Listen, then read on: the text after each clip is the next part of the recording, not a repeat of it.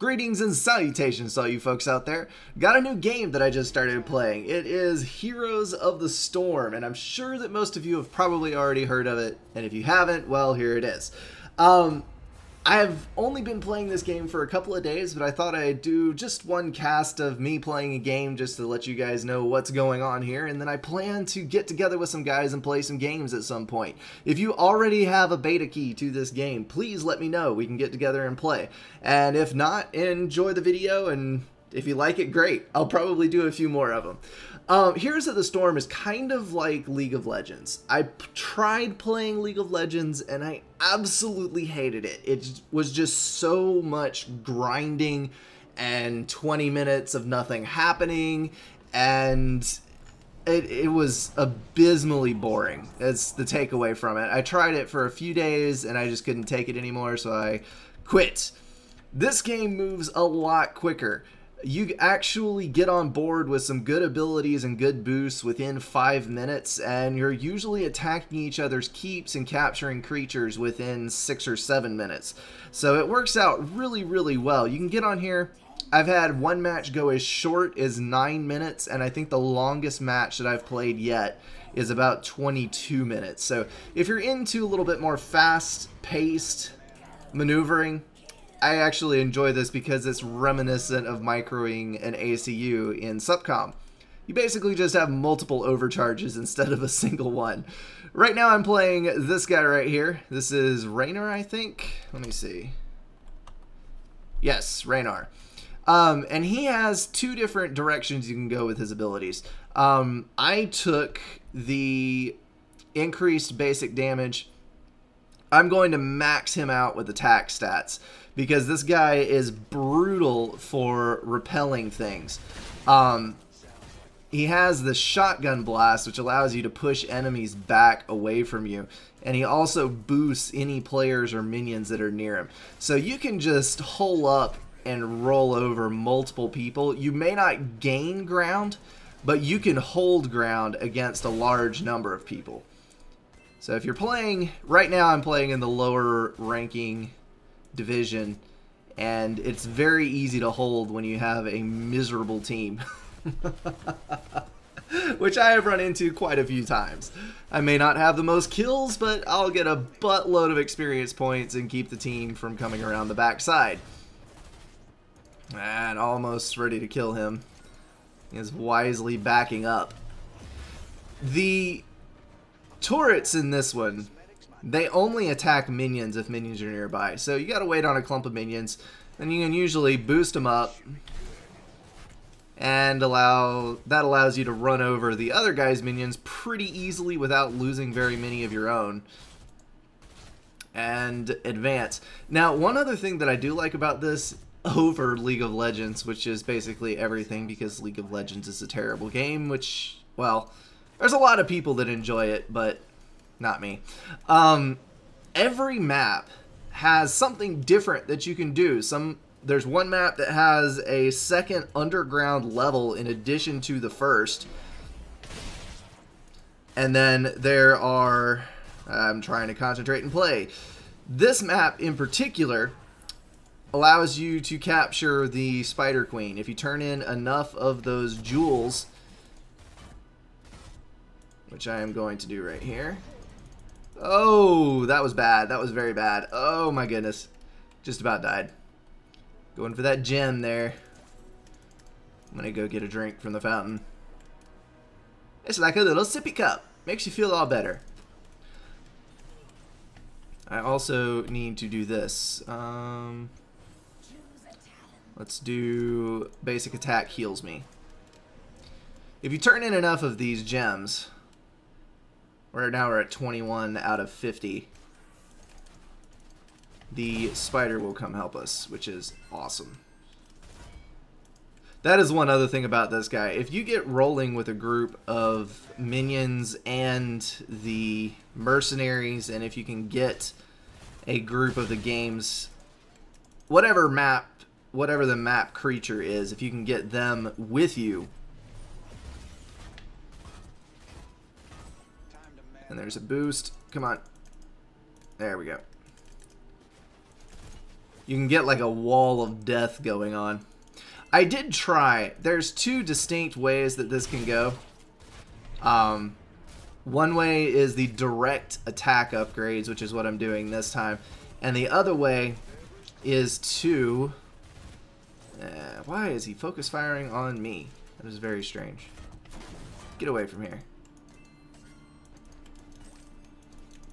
The other way is to up his boosting abilities. And this guy actually has the ability to bribe mercenary camps instead of... Let me see if I can... Uh, there we go. This is a mercenary camp. I'm not going to mess with them. They're not going to mess with me.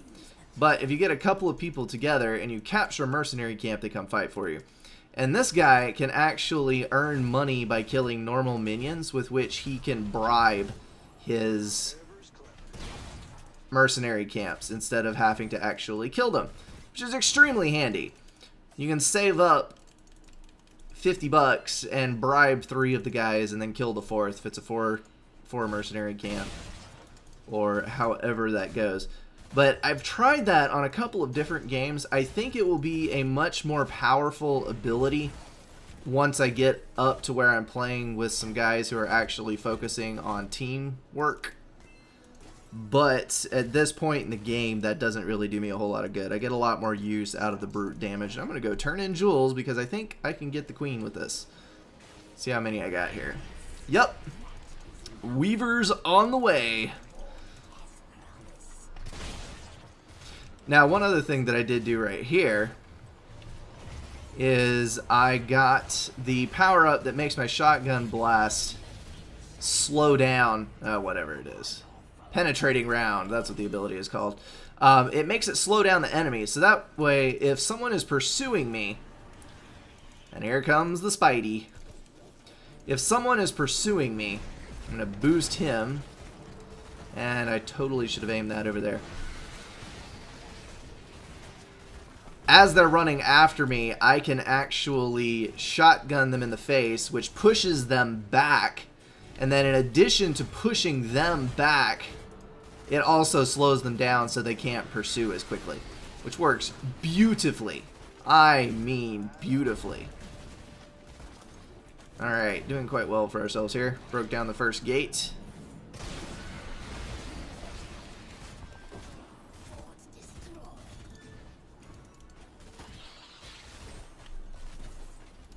And this sucker right here is epic.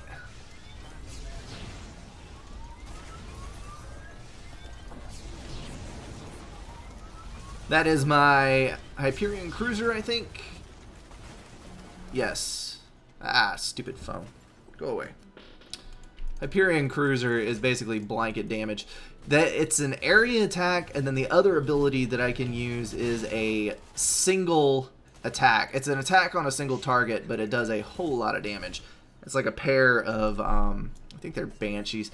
As you can tell, I'm not up on StarCraft lore because I was never a really big StarCraft player, so to each his own. That's right. You run back into your hidey hole there. Need to lure him out if he thinks I'm at a disadvantage here. If I can get one good shotgun blast in, he's probably regened enough health by now to survive it. But oh well. This game, like most others in this category, you have health and mana. Mana for your abilities. Health is obvious. What I'm really waiting for is later on in my upgrade tree I get a double shotgun. Lets me shoot twice, which is absolutely brilliant. Holy cow, I've got 25 crystals already. I'm going to pick up these three, and I can call the spider again.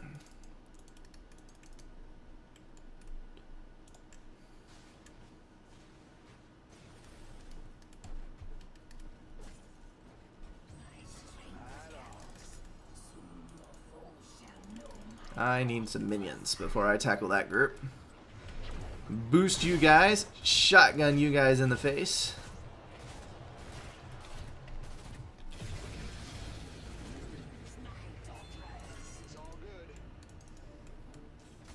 Tasty.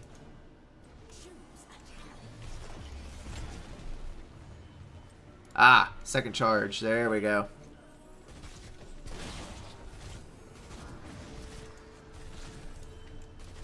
And as you'll notice, I actually got around to setting up my hotkeys for this game. I never did for Supreme Commander because I found them quite uh, unnerving. I could never bring myself to play long enough to get used to them. I just, it's not my thing.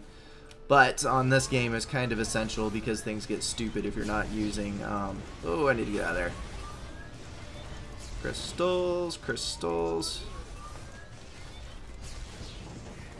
This game is ridiculous if you're not using hotkeys, so I finally caved in and did so.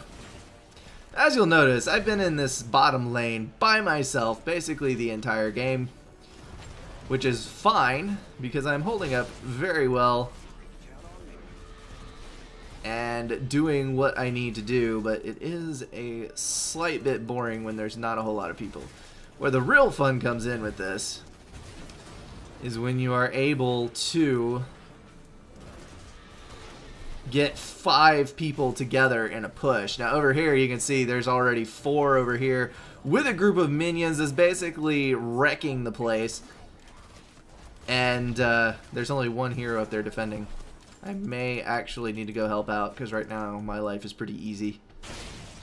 Kaboom.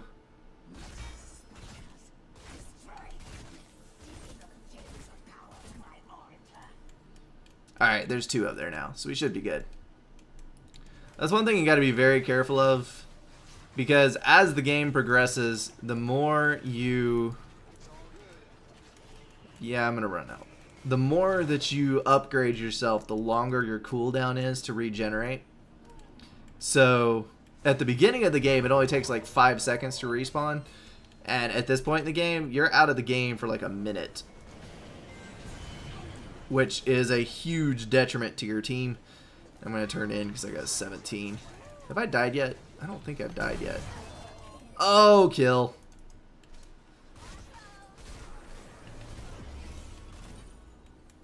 There we go.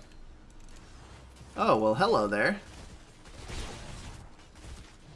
You're dead. No, you're not! No! Don't get away from me! We'll hunt you down to the ends of the earth! Ha!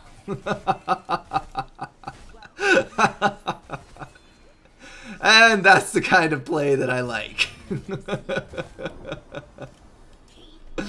that was evil. Alright, penetrating round does more damage per strike. So it, the more enemies that I hit with a single shot, the more my damage stacks up. You can see I took off like a third of his health with that second shot. Which works out brilliantly I keep using brilliantly in this cast. This is going to be my sponsored word for the day. Ah, I'm not going to bother with that. Only three spiders. Nothing there. Got two heroes, though. If you can manage to line up at this stage, if you can line up all the minions in a line and hit every single minion with the shotgun, you can one-hit kill a group of minions. Which is amazing.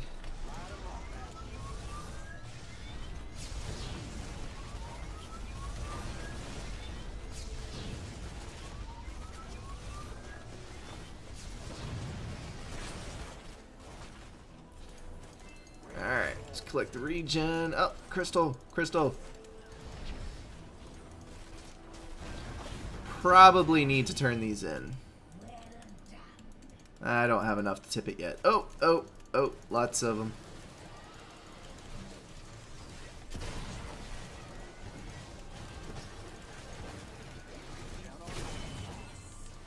There's one. Kind of tangled up in everybody here.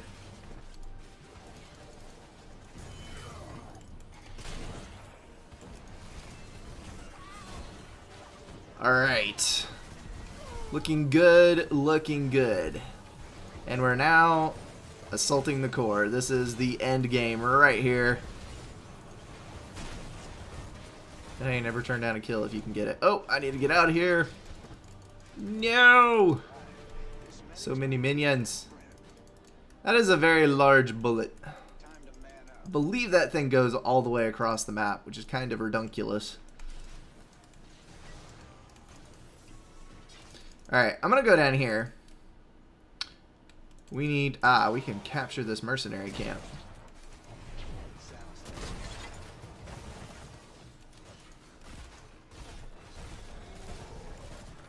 And now these mercenaries will follow us.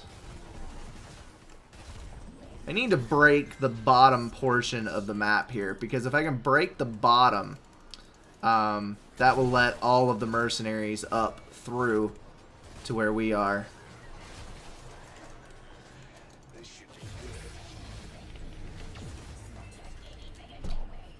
When you can get all waves to attack the core at once, then you're doing pretty well for yourself. Alright, I'm going to do that. I am going to go down here. Oh, crap. Where am I going to run? What is holding them? Guess they're just running into other minions. Alright. I'm currently sitting on 18. Ah, no deaths. Not so many takedowns, but pretty good, decent amount. Alright, full health, full mana, and a virtual armada with me.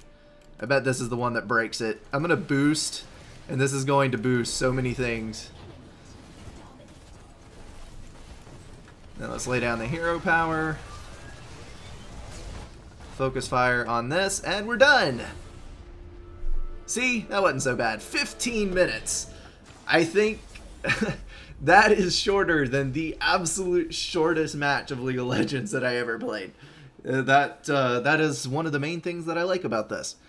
So, that is Heroes of the Storm, and I am a fan. I do like this game. It is probably not going to capture my attention for the length of time that some other games have, but it is some simple, awesome fun. It is just plain fun to play. And if anybody that's watching this has a account with this that has a beta key, I would love to get in touch with you and play.